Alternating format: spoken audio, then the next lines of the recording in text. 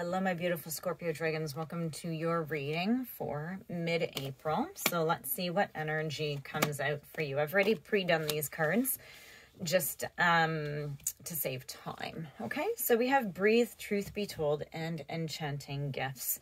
So I feel that there is a truth coming out. It's almost like you're just sort of not sure what to do and you're just being told, right, to breathe there is something coming out. There is some sort of truth coming to you, or you are going to be saying your truth. And maybe that's why you're having to breathe.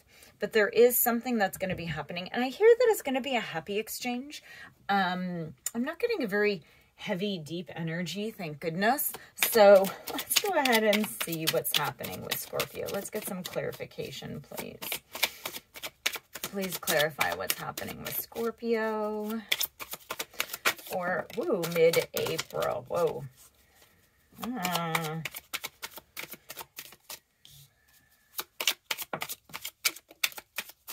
okay. So let's see what's happening. Um, also, guys, just so you know, when I read, um, I don't read gender, male, female. It's energy. Everybody is comprised of masculine and feminine energies. So it doesn't matter um, what gender you are identify with while you're watching this. So just sort of take it as it is, okay? So we have the Nine of Chalices, which is the Nine of Cups. We have the Hangman, the Knight of Chalices, and the Queen of Swords. You have a... It's almost like you have... Um,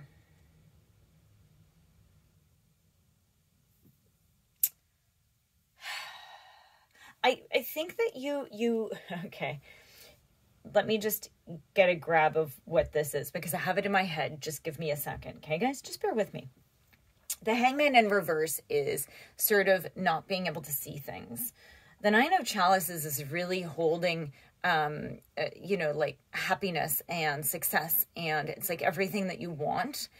And I think that what it is, is I think that when the hangman is in reverse, so it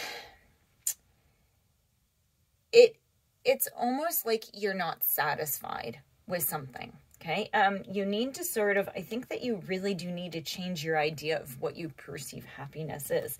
And you have the Knight of Chalices and the Queen of Swords. Now, this energy is a very like romantic one, um, or it's, um, it could be your idea of what marriage should be or a commitment of some sort, even if it's just friends. Okay. It's, um, but I think that you have like, you're holding on really tight to what your idea of something is. And definitely with the Queen of Swords.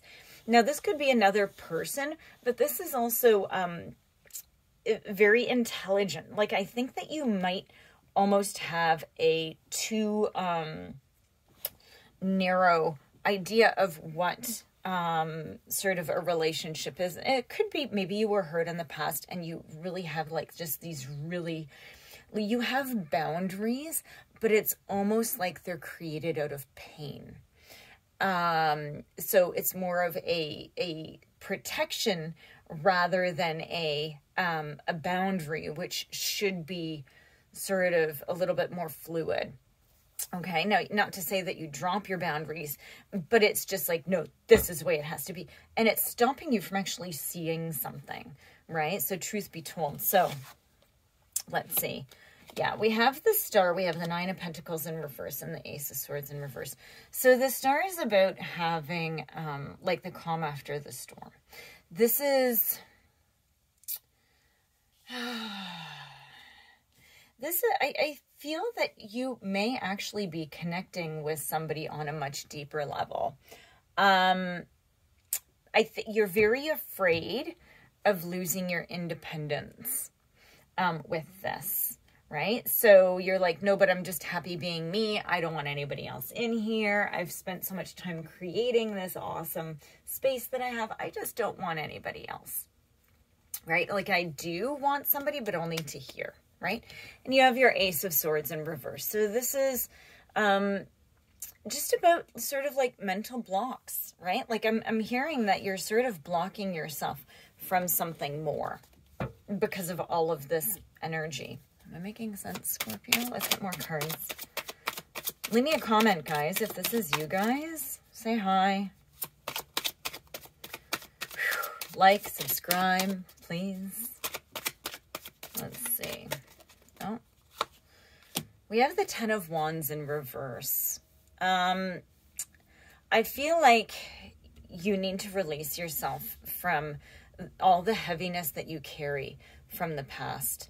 Um, I think that you need to maybe realize, and, and here's the thing a lot of times when relationships fail, we sort of turn to ourselves and say, well, what did I do wrong? What's wrong with me? Right.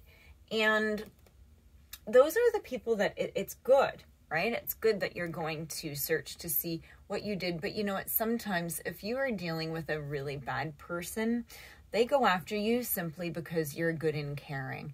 And the thing is, is what these people do. I was just having this conversation with a friend of mine who's getting really, really attacked badly by somebody, not even a romantic relationship. Um, and, um, and I'm like, these people just latch on because they're so unhappy with themselves. They latch on to the kindness of others and A, because they want to destroy it because they aren't it and they can't be it, right? So it's, it's, it's such a bad energy. So anyways, you need to realize that this isn't your battle, right? Look, you have judgment and temperance. Oh my gosh, look at this. So you're going to be having this big you know what, this big aha moment, maybe watching this reading is going to be your aha moment, right?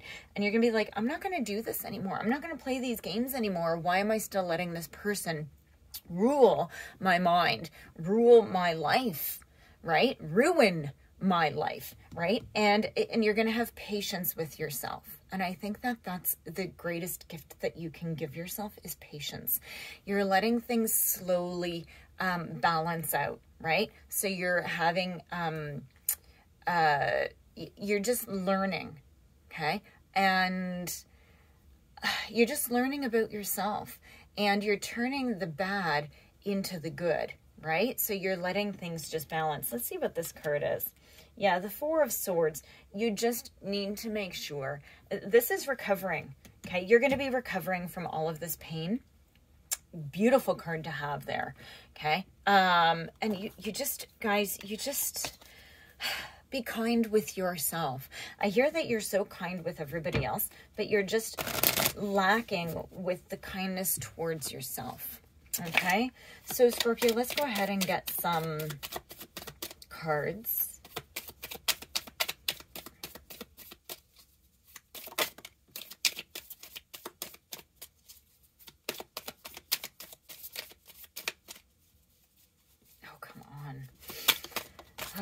Oh, well, I don't want all that. So can I just get one more, please?